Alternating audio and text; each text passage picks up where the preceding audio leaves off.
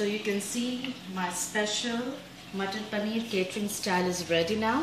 You don't have to go to a wedding or function to enjoy this recipe. You can just make it at home and enjoy it. If you like this recipe then please hit the like button, share with your family and friends and please subscribe. Till then thanks. Bye.